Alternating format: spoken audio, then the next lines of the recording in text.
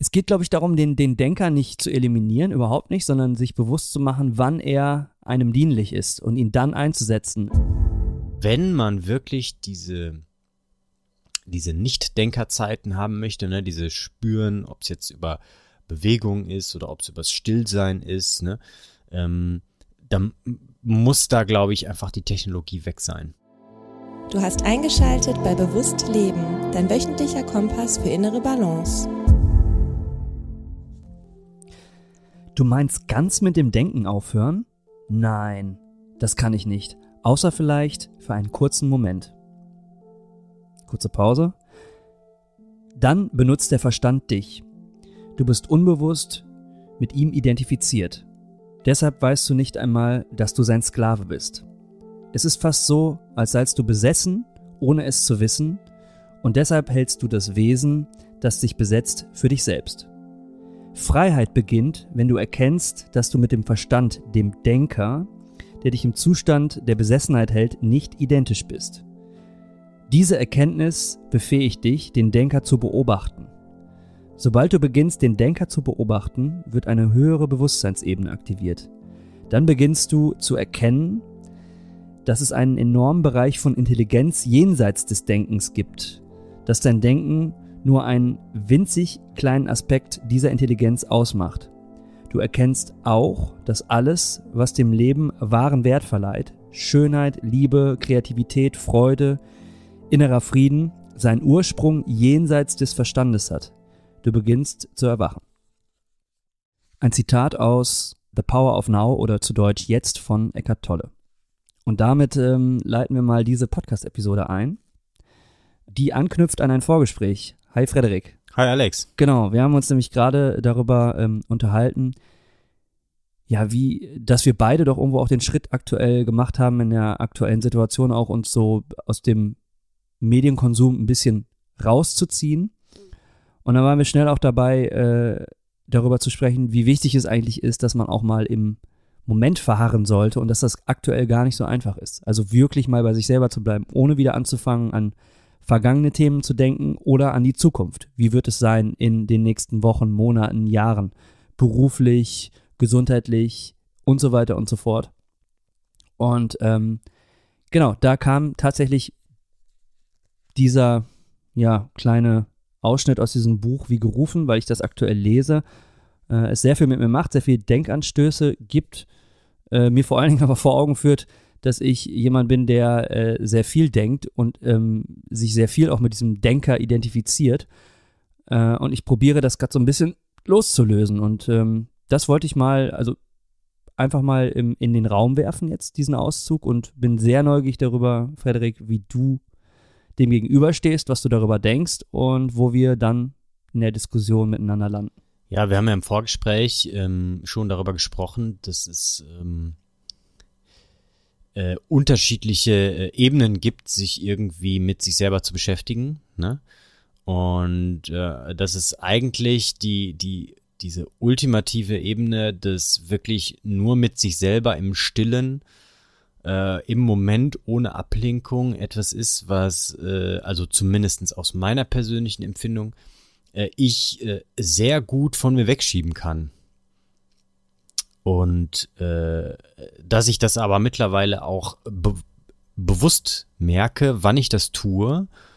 Ähm, und äh, mittlerweile auch die innere Entscheidung getroffen habe, dann, wenn ich es merke, ähm, das zu verändern.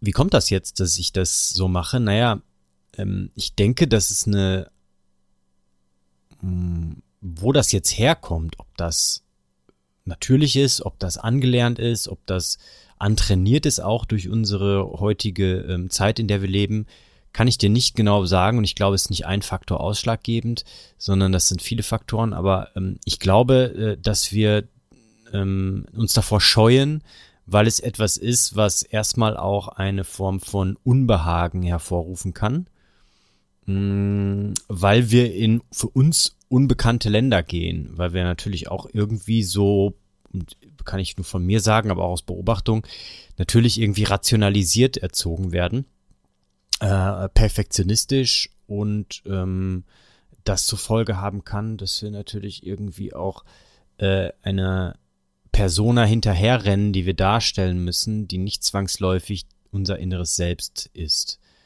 Und ich glaube, da geht es auch ein bisschen hin, dass dieser Denker, den du ja im Zitat auch angesprochen hast, dass der immer so eine Form von, von Regulator auch darstellt, ne? So dieses nach innen regulieren mhm. und nach außen regulieren.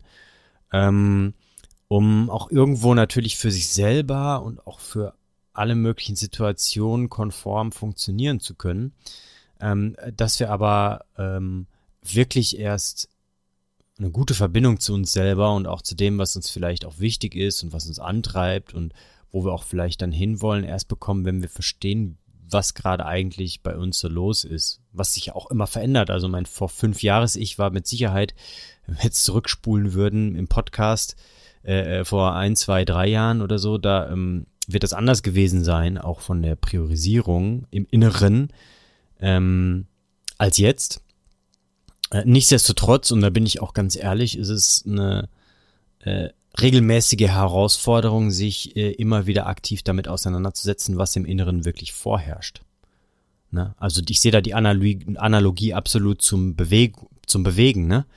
Ähm, also tägliche Bewegung oder regelmäßige Bewegung ähm, ist ja auch etwas, was durch unsere Umwelt und Sozialisierung und Gesellschaft torpediert wird, weil wir eigentlich dahin erzogen werden, uns weniger zu bewegen. Und ähm, das Gleiche gilt auch, glaube ich, für diesen Denker und vielleicht diesen Fühler oder dieses mhm. Sein, ich, ähm, äh, dass wir eigentlich ja immer von, vom Außen abgelenkt werden, genau das nicht zu tun, obwohl wir eigentlich in einem vielleicht natürlicheren Kontext ähm, das immer auch gemacht haben. Ne? Ja, ich finde die Analogie, die du ansprichst, finde ich super gut ähm, weil die auch nochmal vieles verdeutlicht oder auf eine, auf eine sehr einfache Ebene runterbricht. Ne? Und das bringt ich, bringe ich jetzt zusammen mit eben den Denker zu beobachten. Ne?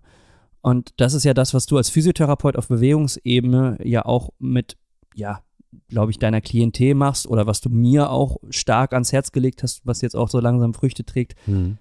dass man anfängt, seine Bewegungen zu beobachten. Ne? Und äh, vielleicht auch dann mal äh, eben aus dieser ganz anderen Perspektive äh, andere Entscheidungen trifft. Ne? Also es sind ja viele Dinge, die einfach unterbewusst passieren. Wenn ich den ganzen Tag vorm Rechner hänge oder wenn ich den ganzen Tag abends nur auf dem Sofa rum äh, ähm, dann ist das vielleicht nicht so ganz optimal für den Körper. Aber es, die Veränderung kann ja nur dann stattfinden, wenn ich imstande bin, da mal rauszuzoomen aus, aus, aus dieser Situation und meine Bewegungsabläufe von außen zu betrachten und mir Gedanken zu machen, wie kann ich da eventuell mal was anpassen, damit ich äh, langfristig was von meinem Körper habe und ihn als Vehikel optimal nutzen kann bis zum Ende meines Lebens. Ne? Und das, das lässt sich ja dann jetzt auch ganz einfach auf die Gedanken äh, übertragen. Ne? Also wenn man immer wieder das denkt, was man immer denkt, dann kommt man natürlich aus gewissen äh, Gedankenschleifen auch nicht raus. Und wenn die kontraproduktiv sind, genauso wie bestimmte Bewegungen kontraproduktiv sein können, dann ist ganz schwer, da einfach so äh, mit dem Fingerschnips rauszukommen, sondern man braucht diese andere Perspektive. Ja. Und es kann halt sein, dass die jemand anders einen zeigt, aber man muss sie natürlich selber auch erstmal einnehmen. Ja, und ähm, ich habe mir vorhin ein Wort aufgeschrieben, äh, dass wir mit bei dieser Analogie zum Bewegen, dass wir alles Umweltreaktionisten sind. Ne? Und wenn man sich jetzt halt überlegt, äh, das ist eine sehr stimmige Analogie, finde ich, weil unsere Umwelt in Bezug auf Bewegung ähm, ist ja so, wir haben überall flache Böden wir haben weiche Schuhe, wir haben weiche Couch, ne, alles bequem, wir haben überall Transportationsmittel, ne. Ähm, jetzt müssen wir noch nicht mal mehr in den Städten über die Bürgersteige gehen, sondern können sogar einen E-Scooter nehmen, äh, um uns da nur draufzustellen und dann mit Hilfe von elektrischer Kraft zu fahren. Genau das gleiche passiert ja auch mit unseren Gedanken und ich nehme mich da jetzt überhaupt nicht raus, sondern das ist eine, gerade eine Aha-Erkenntnis von mir, dass natürlich die Umwelt, in der wir uns dann auch mental begeben, ne, die gleichen Nachrichtenseiten, die gleichen äh, Radiosender, äh, vielleicht auch wirklich, aber Podcast ist vielleicht etwas diverser, gerade wenn man vielleicht auch so äh, thementechnisch äh, sehr diverse Podcasts hört, aber äh, YouTube, TikTok hast du vorhin angesprochen, Instagram, das sind alles für uns dann denkende Algorithmen, wo wir nur noch reinsteigen und die für uns die Entscheidung treffen, was da quasi kommt, ne? Also so, dass es schon irgendwie vorgefertigt wird und dass wir wenig Möglichkeiten haben, uns da selber herauszufordern, nachzudenken über diese Dinge. Ähm, und ähm, die dann natürlich auch dazu führen, dass, weil das ja kombiniert ist auch mit solchen diesen Denker ähm, bestärkenden Mechanismen. Ne? Also der Denker freut sich ja total, wenn etwas Neues dazukommt, wenn man irgendwie etwas Neues erlebt und dann werden ja einfach bestimmte Belohnungszentren aktiviert. Ne? Wenn ich jetzt eine neue Meldung lese oder irgendwie ein neues TikTok sehe oder weiß der geil was, ne? sondern es klickt man ja gerne drauf, weil da, aha, da kommt ja eine Belohnung rein. Ähm, und äh, ähm, das, das fordert uns ja dann überhaupt gar nicht heraus. Und ich glaube, deswegen fällt es auch, weil ich mich da natürlich auch in dieser Welt irgendwie bewege, fällt es mir auch so schwer, da aktiv da rauszugehen und die, die Entscheidung zu treffen, ich gehe mal in diesen, in Anführungszeichen, leeren Raum des Nicht-Konsumierens, sondern einfach erstmal nur des Wahrnehmens äh, im Inneren, ähm, gerade weil da die Prägung so stark ist durch die Umwelt. Ja, total. Und um das vielleicht ins Hier und Jetzt auch zu ziehen, in diese aktuelle Situation, in der wir uns befinden, über die man natürlich auch, also die ja ein wunderbarer Nährboden ist für den Denker, in verschiedenste Richtungen zu gehen, ist es zugleich aber auch die Riesenchance, diesen Denker mal an der Seite zu parken und ähm, in sein Innenleben zu schauen und sich ähm, in, dem, in dem Raum hier und jetzt auch mal zu spüren. Und äh, es wird ja wieder wahrscheinlich, wir befinden uns jetzt hier kurz vor Weihnachten, ich weiß gar nicht, ob diese Episode und vielleicht noch eine davor rauskommen, aber ist ja, ist ja jetzt schon fast eine Weihnachtsepisode, kann man sagen, ne? Ähm, wir sind natürlich jetzt auch durch, durch, also all die Jahre jetzt auch vor der Pandemie sind wir so darauf gepolt gewesen, dass man, ja, möglichst äh, viel Geschenke kaufen, Weihnachtsmärkte besuchen, Reize, Lichter, bling, bling, bling, alles von draußen ballert rein, ne? Es ist ja ein ähnliches Spektakel wie äh, mit Social Media, ne? Reizüberflutung. Und eigentlich ist die, die, die Grundmessage von Weihnachten ja auch, eine besinnliche Zeit mit sich und seinen Liebsten zu feiern. Und ich, ich, die, diese, diese Message, die immer so äh, auch Werbe, werbezweckmäßig wunderbar eingesetzt wird, die, die fällt eigentlich völlig hinten rüber. Ne? Und äh, das ist jetzt auch wieder die Chance, auch in der Krise, glaube ich, äh, sich dieser, dieser Grundmessage, die eigentlich, ich sag so ehrlich, wie es ist oder wie ich es finde, ganz oft missbraucht wird von der Werbeindustrie, der sich mal wieder zu nähern und sie wirklich zu leben, wie sie auch sprichwörtlich gemeint ist. Ja. Weißt du, was ich meine? Ja, also ich probiere das jetzt ja immer auf die Weihnachtsebene du, zu hieven. Ja, weil ähm, du hast ja vorhin das Wort genannt, besinnlich. Also ja. was, was ist der Sinn des Ganzen, ne? Mich hat jetzt ein Kollege vor ein paar Tagen gefragt, und hast du schon alle Weihnachtsgeschenke? habe ich gesagt, ja klar, ich kauf keine. Nein, das war ein bisschen überspitzt gesagt. Ja. Aber äh, die, meine Message war eigentlich, du, ich habe da keinen Plan, den ich abarbeite, der mir irgendwie vorgefertigt wird, sondern ich schaue, dass ich nach meinem Gefühl äh, das Beste für mich und meine Familie da raushole, in dem Sinne, dass es eine schöne Zeit wird. Und das ist komplett unabhängig von Geschenken. Natürlich freuen sich Menschen irgendwie über Aufmerksamkeiten und Geschenke, aber ähm, für mich ist es absolut nicht der, der Sinn der Weihnachtszeit, auch wenn ich jetzt kein bibelfester Christ bin. Ne? Ähm, nichtsdestotrotz nehme ich diese Zeit auf jeden Fall auch als Aufhänger, um ähm, wirklich da drüber nachzudenken, was halt eben so innerlich los ist, was so zwischenmenschlich auch los ist und um da vielleicht auch nochmal Weichen neu zu stellen, ne? Und da äh, bedarf es keiner Geschenke für, sondern bedarf es Zeit und äh, Raum, um genau das eben zu tun, ne? Genau. Und losgelöst von den Geschenken, bei mir ein ähnliches Szenario, ähm, dass man halt eben schon vor zwei Monaten angefangen hat, irgendwie zu planen, ja, wo ist denn eigentlich wer? Und wenn ich an die letzten Weihnachtsfeste denke, bin ich immer von, von also das letzte vielleicht nicht, aber die davor, ähm, dass man wirklich immer von A nach B, also eigentlich so eine Reise, so eine völlige krasse Reiseplanung äh, durchexerzieren muss. ja. Und äh, ich habe da eigentlich auch, ehrlich gesagt, gar keinen Bock mehr drauf. So, ähm, äh, und ich weiß auch jetzt gerade aktuell noch nicht, natürlich jetzt auch geschüttet die Situation, aber auch sonst, ich wüsste, glaube ich, nicht, ob ich das nochmal so mache.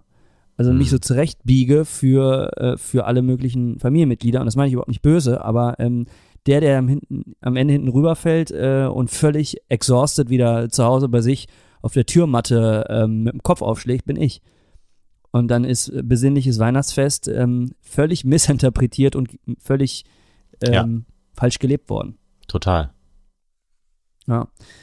Und das ist das Schöne an diesem, ne, ich finde das schon schön, das äh, hat ja relativ viel empfacht jetzt schon, dieser, dieser, äh, dieser Ausschnitt, ne, von diesem Buch. Um, was ich auch noch spannend finde, ist, ähm, was er dann am Ende sagt, du erkennst auch, all, äh, dass alles, was dem Leben wahren Wert verleiht, Schönheit, Liebe, Kreativität, Freude, innerer Friede, seinen Ursprung jenseits des Verstandes hat. Das, das 100 ist- Prozent, ja. und da, wir sind jetzt hier bei dem Punkt innerer Friede gerade auch, ne?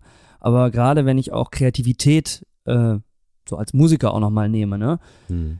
Ähm, auch da kann äh, der Denker echt auch Überhand nehmen und, und das sage ich ganz bewusst, ich merke das auch bei mir in der Band. Äh, wir haben auch sehr viele Denker bei Mhm. uns, auch sehr viele smarte Denker, also da wirklich, wirklich, das meine ich nur positiv, äh, aber es hat auch seine Grenzen und es ist limitiert. Je mehr du dich diesem Denker hingibst, desto weniger folgst du manchmal deiner Intuition oder auch einfach mal diesem Fuck you-Gedanken, sondern ich schreibe mal jetzt einfach das, was sich gerade richtig anfühlt, ne? Und man kann Kreativität auch totplanen und dann macht es auch keinen Spaß mehr und dann geht vielleicht auch die Mhm. Liebe verloren.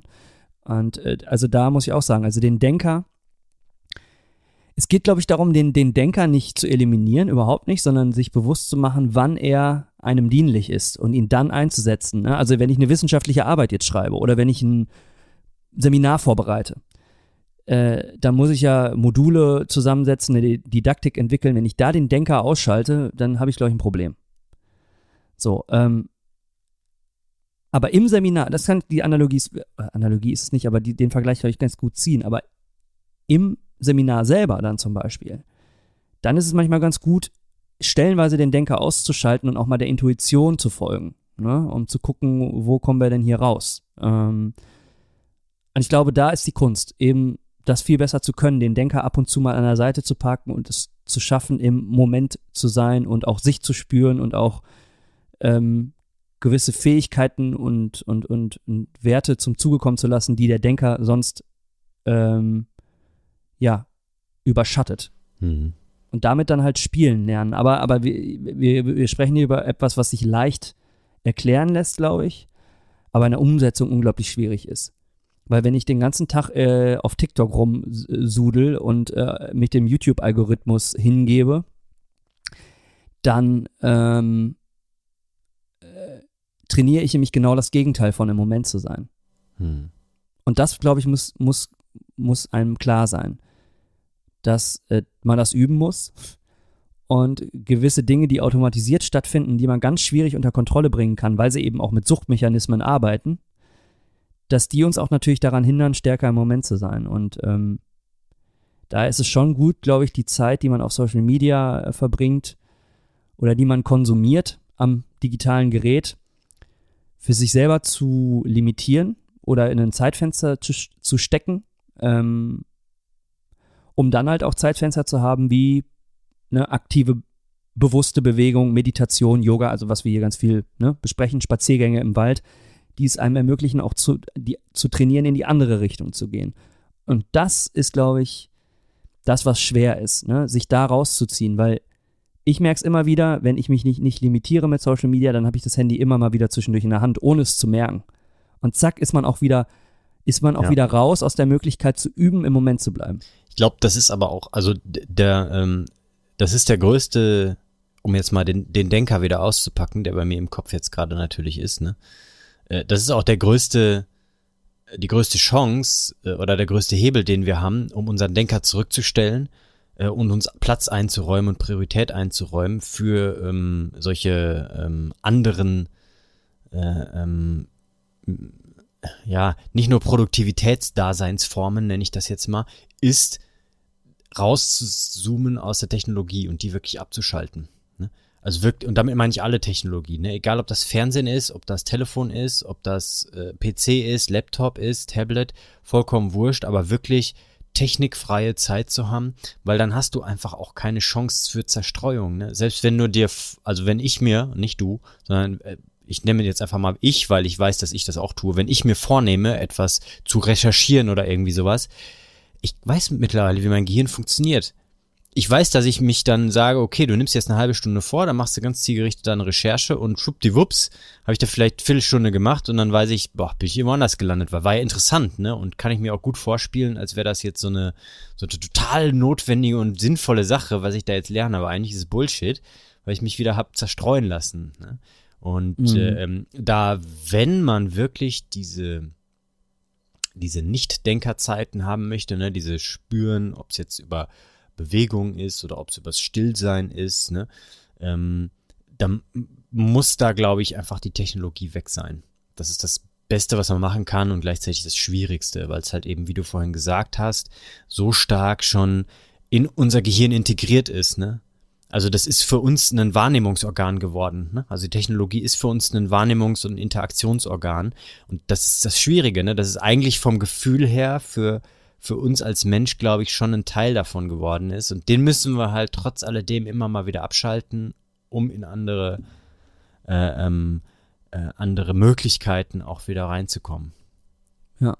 Und eben, um üben zu können, auch dann überhaupt mal äh, aus diesem Denken rauszukommen. Oder aber der erste Schritt ist ja, und das finde ich ganz spannend, ist ja zu realisieren, diesen Denker erstmal zu beobachten. Dass das ja schon mal der Schritt ist in eine richtige Richtung ist, wenn man das erstmal hinbekommt. Es gibt ja, glaube ich, ganz viele Menschen, die einfach diese, die auf diese Bewusstseinsebene gar nicht springen, ne?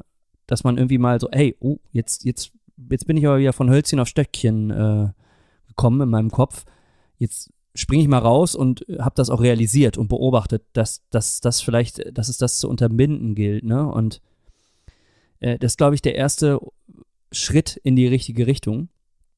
Mm, und was mir persönlich auffällt, ist, wenn ich übermäßig viel konsumiere, ähm, ob das jetzt Social Media ist äh, oder in der Vergangenheit noch, es war schon, es gab Zeiten, wo das bei mir noch viel, viel schlimmer war, nämlich in Zeiten, wo ich übermäßig viel Pornos konsumiert habe. Äh, ich weiß gar nicht, haben wir mal in, in, haben wir mal so ein bisschen angeschnitten, das Thema, ne? Das ist ja so, so, eine, so eine äh, Verhaltenssucht, der ich mich gestellt habe. Mm, und, und die Pornowelt ist ja ist ja Social Media hoch 10 oder hoch 100. Algorithmus basiert mit aber dann nochmal dem extra äh, Sahnehäubchen Dopamin obendrauf, ne? Und wenn du das viel konsumierst und da richtig ähm, stundenlang in dieser Welt verharrst, dann, dann ist es wirklich, also dann ist es spannend, seinen Verstand danach mal zu beobachten oder den Denker und wie, wie wenig Ruhe da nur noch im Geist herrscht und die Ruhe wiederherzustellen nach, nach solchen, ich sag jetzt mal, Porno-Sessions, die ist ganz, ganz schwer. Und die ist natürlich sub subtiler, diese Unruhe nach dem Social-Media-Konsum, weil, weil der Dopaminausstoß nicht so heftig ist. Aber das Prinzip ist dasselbe.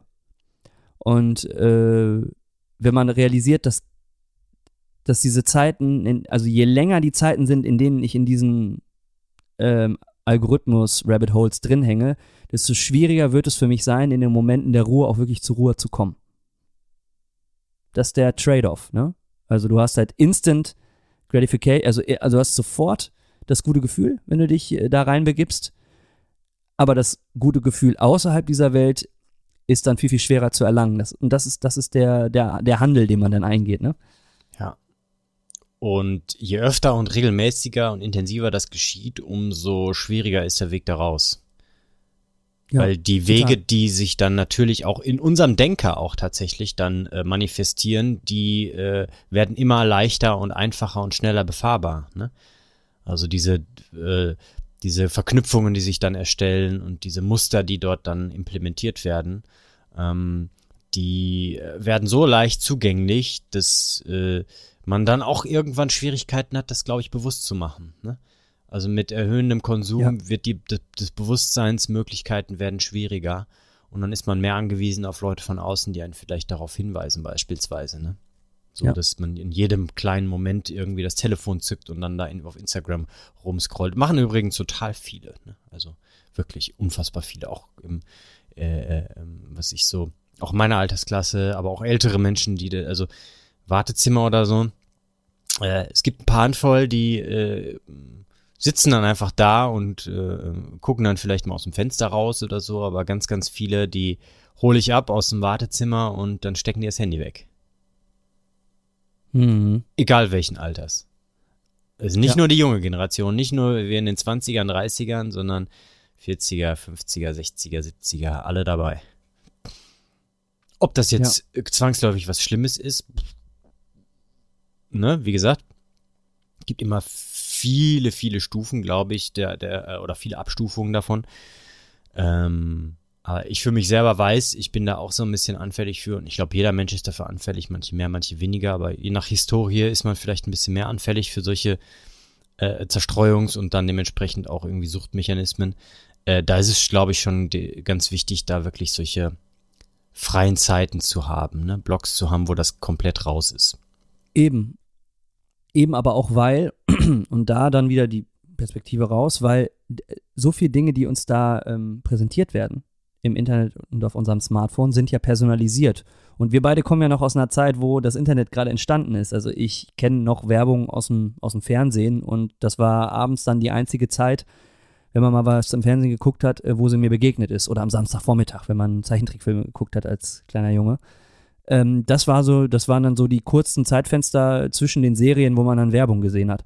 Und die Werbung war ja nicht personalisiert. Da war ja, also klar, für Kinder schon, da war es dann, waren dann immer interessante Sachen da, aber es war ja nicht immer so, dass immer alles für mich zugeschnitten war. Und das ist der große Unterschied zu heute. Heute ist alles personalisiert. Äh, heute ist alles, was dir angeboten wird, wahrscheinlich irgendwas, was du schon mal angeklickt oder angesehen oder durch Scrollverhalten ähm, dir zu Gemüte geführt hast. Und ähm, ich meine, das wird einem nochmal mehr bewusst, wenn man weiß, wie Werbeanzeigen funktionieren. Und wenn man selber mal welche geschaltet hat, äh, dann kannst du eben, weißt halt auch ganz genau, dass du dir ganz genau die Leute suchst, die eben potenziell äh, Interesse, Interessen haben oder schon mal auf gewisse Dinge geklickt haben, denen du was anbietest. Weil da hast du die auch die geringsten Werbekosten. Ne? Also es ist noch nicht mal böswillig, es ist einfach nur auch geldeffizient, wenn du es den Leuten anbietest, wenn du Werbung schaltest, die auch tatsächlich sich dafür interessieren, weil dadurch gibst du als Werbeanzeigenschalter auch weniger Kohle aus. Ne? Also es ist halt ein, es ist keine Böswilligkeit, es ist einfach das System, in dem wir, äh, in dem wir, in das wir uns reinmanövriert haben. Und wenn uns das klar wird, dann sollte uns klar werden, dass es noch viel, viel wichtiger ist, eben diese, diese Zeiten des Konsums zu minimieren. Ähm, und ich finde das spannend, weil wir, wenn ich jetzt, ich habe gerade mal durch unseren Podcast-Feed gescrollt, also wir haben ja gerade auch das Thema Werbung, ne? So kannst du besser mit Werbung umgehen, bei Episode 20. Und wir sind jetzt bei Episode, schieß mich tot, 120, 122 oder so, also 100 Episoden weiter. Und vielleicht haben wir jetzt ein anderes Bewusstsein auch nochmal mit diesem Thema umzugehen, aber es hat uns schon, ich weiß ganz genau noch, du bist, ich war nämlich in Holland damals, da haben wir die Episode aufgenommen. Du hast das Thema äh, äh, gesetzt. Äh, zum allerersten Mal auch so Werbung. Und wir haben davor auch schon ein paar Episoden davor äh, eine Episode gemacht, das Smartphone kontrollieren lernen. Also ganz spannend, als wir mit dem Podcast angefangen haben, haben uns die Themen schon beschäftigt. Hm. Ja, ich weiß noch ganz genau, wie ich äh, mein Instagram ähm, App gelöscht habe und seitdem tatsächlich nie wieder installiert habe. Ähm, also, äh, weil ich äh, ja damals, ich glaube, ich habe es auch beschrieben, eben diesen Effekt gehabt habe, dass mein Daumen automatisch auf den auf das auf den Icon, aufs Icon wollte, aber da war es nicht mehr und dann hat sich irgendwie Dateien geöffnet oder so. Ne? Und äh, da ähm, gebe ich dir vollkommen recht. Also und wir sind jetzt, wann haben wir Episode 20 aufgenommen? Wann war das? 2016,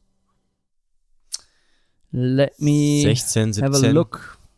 Ich weiß gar nicht, ob das Standdatum auf unserer Homepage am Start ist, aber ich. Auf jeden Fall äh, äh, sind wir jetzt hier und es ist ein Evergreen, ne? Also es ist trotz alledem noch nicht einfach so, dass wir sagen, oh, wir haben das gemeistert und es ist weg aus der Welt, sondern es ist, glaube ich, ein Thema, was einen auch lebenlang, lebenslang beschäftigen wird. Ne? Gerade weil die Zukunft da natürlich auch ungewiss ist und äh, unser Denker da auch immer in die Richtung gerne gefüttert wird und ähm, tendenziell ist wahrscheinlich sich noch verstärkt mit der Technologienutzung in Zukunft und ähm, da ein bewusster Umgang, glaube ich, einfach extrem wichtig ist, damit wir dem nicht erliegen, ne? Ja. Also, weil der, ich glaube, dass, dass dieser Denkeranteil, um da nochmal ähm, den Bogen zu schlagen und dann vielleicht so ein bisschen einen Abschluss zu finden, dieser Denkeranteil ist ja etwas, ähm, äh, äh, äh, was ähm, sich so anhört, als hätte man da die ganze Zeit Kontrolle drüber.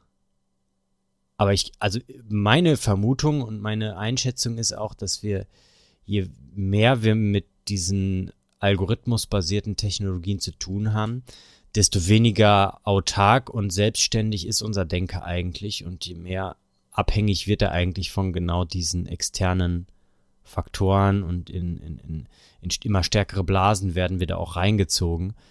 Ähm, und gerade deswegen ist das unfassbar wichtig, äh, da mal sich von zu entkoppeln und zu gucken, naja, was gibt's ja noch für andere Daseins- und Fühlzustände.